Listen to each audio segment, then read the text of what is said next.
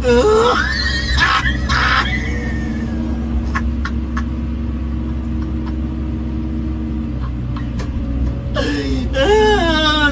the world don't know to the beat of just one drum.